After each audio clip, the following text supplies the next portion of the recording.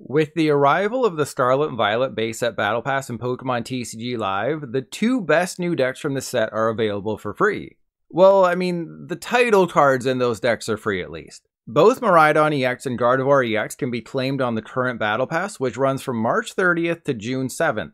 On June 8th, the Paldea Evolved Battle Pass will then go live, giving us two different free decks, so make sure you claim these before June 7th.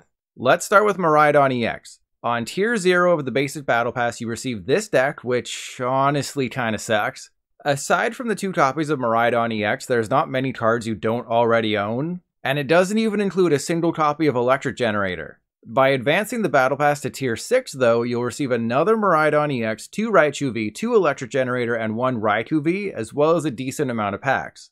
To make Miraidon EX playable, you want to mash it together with the free Regieleki VMAX deck you already own and create some sort of weird love child. On screen is one of many different ways to run Miraidon. For now, though, start with 3 Miraidon EX, 2 Flaaffy, and at least 2 Regieleki VMAX, as well as 4 Electric Generator, then go from there. Moving to Gardevoir EX, it's at Tier 0 of the Premium Battle Pass, which costs 600 crystals and includes all these cards. It's better than the Miraidon deck, but still needs some work. By reaching tier 11, you'll come away with 3 Shadow Rider Calyrex V, 3 Shadow Rider VMAX, and 1 more Gardevoir EX. Once you get all those, remove the Drifloon and Drifblim from the deck. You can keep one Drifloon if you want, since it's actually kind of pretty good. Then add in the 3-3 line of Shadow Rider as well as a 4th Kirlia. There's much better ways to build Gardevoir that I'll cover in the future, but for the low, low cost of free, this is what you'll want to do for now.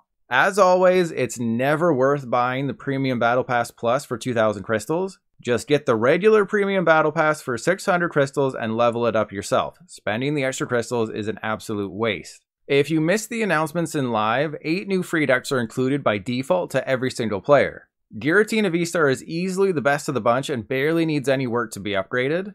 Rotation also hit live this week, removing all D block cards from standard. But something noteworthy is what they say about expanded. Depending on how you interpret this statement, it could mean that black and white and X and Y cards won't be added to TCG Live this year. Ultimately, the statement is a little ambiguous, but the bottom line is if you're coming over from PTCGO and hoping to play Expanded in Live, you're in for a big disappointment. I also want to note that EX Pokemon only cost 600 credits to craft rather than the 750 credits it costs to craft Pokemon V and GX. What do you think of this Battle Pass? Let everyone know in the comments.